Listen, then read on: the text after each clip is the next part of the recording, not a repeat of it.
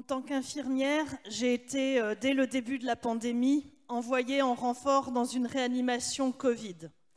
L'épidémie a bouleversé tout le fonctionnement de l'hôpital. Nous avons basculé du jour au lendemain de notre quotidien bien cadré, fait de protocoles, de routines, dans une situation de catastrophe, où tout à coup, il a fallu tout inventer. En quelques jours avant que les malades déboulent, il a fallu déménager, transformer des réserves de matériel en chambres, agrandir les réanimations, et chacun à l'hôpital a dû changer de métier, de service, de collègue. Rien ne nous avait préparé à ça. Tous les cadres habituels ont volé en éclats, toutes les choses qu'on pensait acquises. C'était comme une situation de guerre par moment.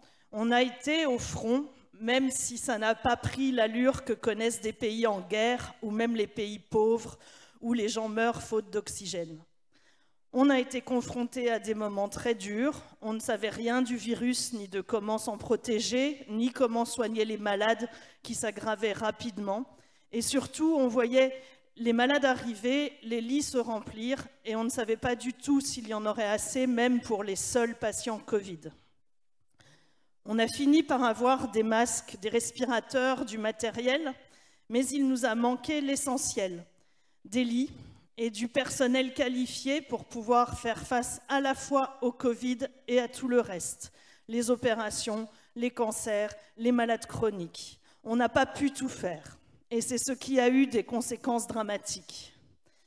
Une image frappante, ça a été de voir nos blocs opératoires hyper modernes, équipés de techniques médicales de pointe, avec des robots chirurgiens, des scanners avec intelligence artificielle embarquée, mis à l'arrêt, déserts, plongés dans le noir, silencieux, parce que leur personnel était réquisitionné en réanimation.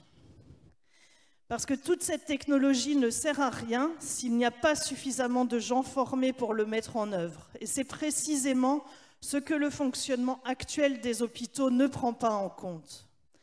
Et depuis, ça continue. On n'a jamais vraiment retrouvé nos marques. Les nouveaux collègues venus en renfort des EHPAD ou sortant des écoles et qui sont restés ne suffisent pas à combler les manques. Actuellement, alors même que le Covid marque une pause, les blocs opératoires ne tournent encore qu'à 80%, faute de personnel. Dans cette situation de catastrophe sanitaire, le plus frappant, c'est ce que les personnels de l'hôpital ont accompli. Il a fallu trouver un fonctionnement, se former en quelques heures, s'organiser et finalement réinventer complètement le fonctionnement des services. Les soignants ont déployé des trésors d'intelligence pratique, d'initiative, de dévouement. Et aujourd'hui, nous sommes profondément révoltés de voir que les donneurs d'ordre, eux, comptent là-dessus encore et encore. Ils n'ont rien fait d'autre que de s'appuyer toujours sur ce dévouement et sur cette qualification des personnels soignants.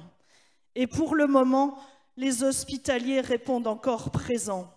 Ils sont d'autant plus convaincus qu'ils peuvent y faire appel que la cinquantaine de suspensions à la suite de l'obligation vaccinale ont été malgré tout acceptées. Eh bien qu'ils se méfient, ce n'est pas éternel. Dans cette crise, nous sommes un certain nombre à avoir découvert que nous étions réellement capables de prendre les choses en main et que l'hôpital et les malades pourraient bien ne s'en porter que mieux. Passe la parole à Josépha.